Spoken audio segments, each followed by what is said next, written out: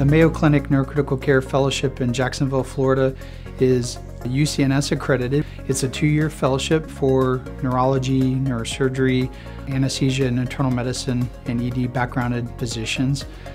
Definitely the best benefits of our fellowship is that there's integration between the clinical neurosciences of neurology, neurosurgery, and critical care. Being a fellow in the neurocritical care program gets you a front row seat at the Mayo Clinic and the way we take care of patients. Mayo Clinic being the most recognized name in all of medicine is a great thing on the surface, but when you get to experience it as a physician and get to see how it works, you find that it's one of the greatest things you can add to an education. I get to work with world-class attendings who bring so much to neurocritical care and I get to learn from them every day. I then in turn get to turn all of my knowledge into teaching the residents that rotate with us.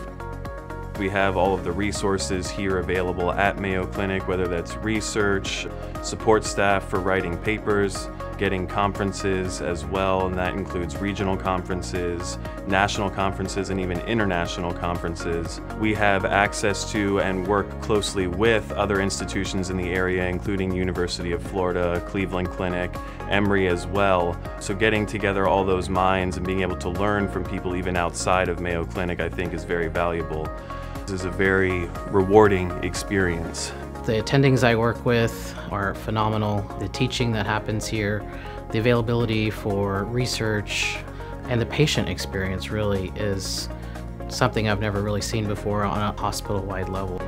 What makes this fellowship really special compared to other fellowships is the focus on the learner and the fact that you have so much personal attention that we really try to form the fellowship to whatever the fellow wants to do as a career interest or an academic interest.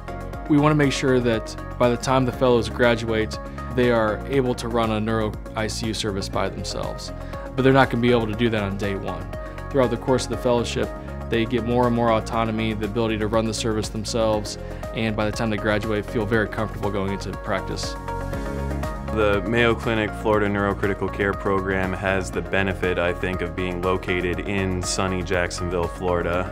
On your time outside of the hospital, it's very nice to be able to go to the beach, which is just four miles down the road. A lot of us participate in surfing, kayaking, paddleboarding. Having that resource there right down the road is a very good thing here. People come here when they're unable to find answers to their problems, whether they're neurologic problems or medical problems or otherwise. And to be part of that is a wonderful thing because it's a challenge at the beginning and you'll learn in the Mayo system how to meet that challenge.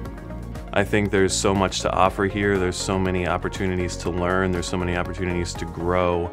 Every day is a academic endeavor as well as providing excellent care for the patient.